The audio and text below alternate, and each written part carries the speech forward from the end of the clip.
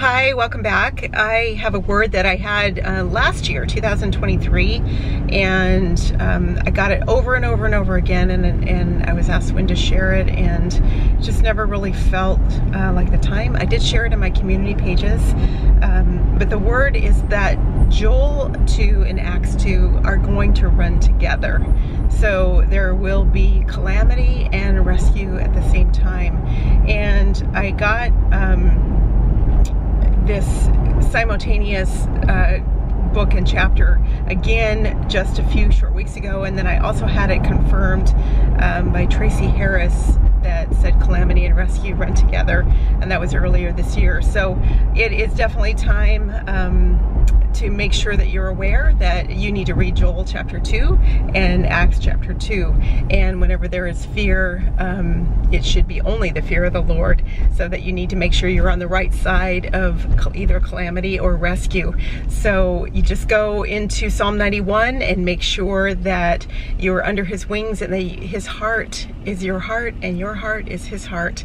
Um, fear the Lord, which is turning away from all evil and search the scriptures for what evil is and everything that is in your life that you um, you know you don't think that God would like that's probably a good indication that you need to turn away from that and repent for it.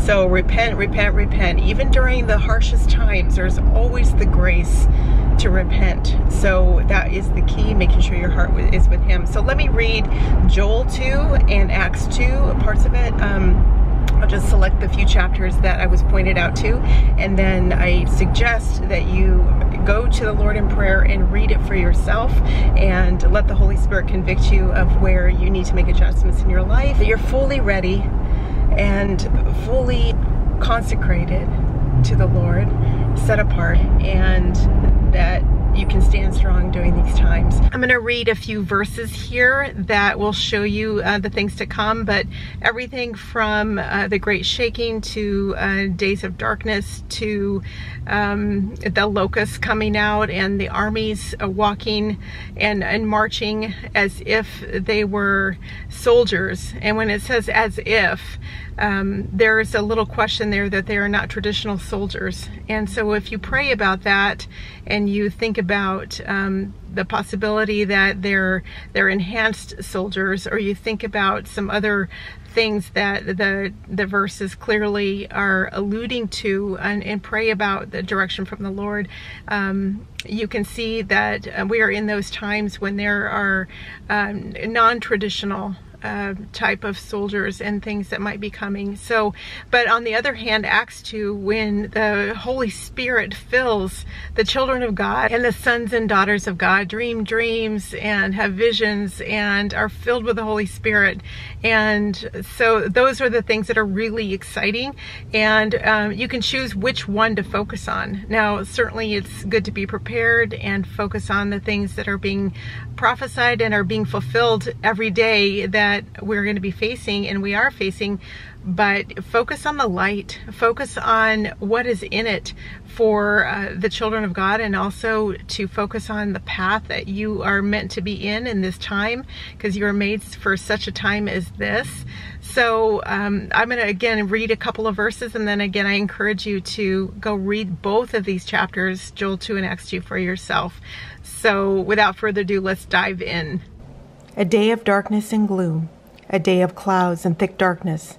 As the dawn is spread over the mountains, so there is a great and mighty people.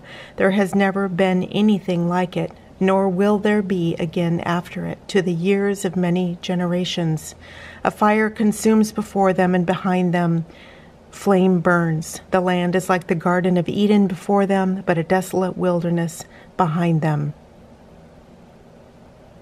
Like a mighty people arrayed for battle, before them the people are in anguish and all faces turn pale. They run like a mighty man climbing on the wall like soldiers, and each and they each march in line, nor do they deviate from their path. They do not crowd each other, they march every one in his path. When they burst through the defenses, they do not break ranks. They rush the city, they run on the wall, they climb into houses. They enter through the windows like a thief, and before them the earth quakes and the heaven trembles. The sun and the moon grow dark, and the stars lose their brightness. and the Lord utters his voice before his army. Yet even now declares the Lord, return to me with all your heart, with fasting and weeping and mourning. Rend your heart, not your garments. Now return to the Lord your God, for he is gracious and compassionate, slow to anger, and abounding in loving kindness. Who knows whether he will not turn and relent and leave a blessing behind him? And now Acts 2. It mirrors Joel, and here is where it says Peter stands up and says, And it shall be in the last days, says God that I will pour forth my spirit upon all kind, and your sons and your daughters shall prophesy, and your young men shall see visions, and your old men shall dream dreams. Even upon my bondslaves, both men and women, I will in those days pour forth my spirit, and they shall prophesy, and I will grant wonders in the sky above and the signs in the earth beneath blood and fire and vapor of smoke, and the sun shall be turned into darkness, and the moon into blood before the great and the glorious day of the Lord shall come. And it shall be that every one who calls upon the name of the Lord shall be saved.